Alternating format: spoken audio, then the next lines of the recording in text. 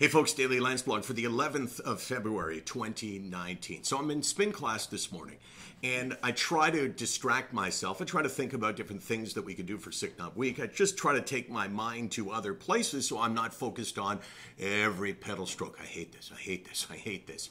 So I was thinking today about um, how I, I wasn't feeling particularly good and I was thinking about how do how do I share that with other people, and it made me intensely mad. And I feel like I got to let go of my anger now because I was thinking about how people minimize this illness and how you know people will not treat it like a real illness. And I thought, what could be more profound than the loss of the ability to experience joy?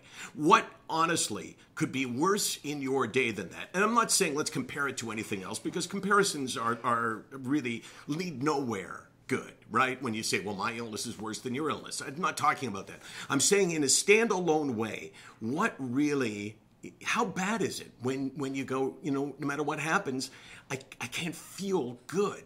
It is incredibly dispiriting, but what bothers me most is the fact that it's not taken seriously. That somehow, still in 2019, people believe that mental illness is a self inflicted wound. That somehow it's like, suck it up and you can get better. You know, it doesn't matter how many times you turn, assuming you don't have the automatic on with your car where you just push the button, right? It doesn't matter how many times you turn it. If there's no gas in the tank or if there's no battery that's charged in the car, it's not going to turn over. It's not going to go on. It's exactly like that when it comes to somebody with depression. You can say all the things that you want to say about how you should do this or try that or why not get out more or all of that. But it doesn't matter because somehow we don't have the ability to experience joy. And it just pissed me off thinking about all the people that suffer from that and all the people that don't take it seriously, don't look at it like it's really something severe. And in particular, I'm talking about doctors.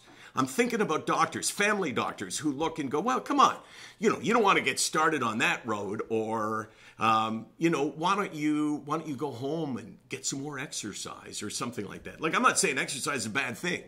I'm saying that it's not a cure for depression. And worst of all, it minimizes what we feel. Pissed me off. SickNotWeak.com, 24 hours a day, 364 days a year. We're here because, you know what? Someone's got to speak up for you. If you have been minimized, then you tell us.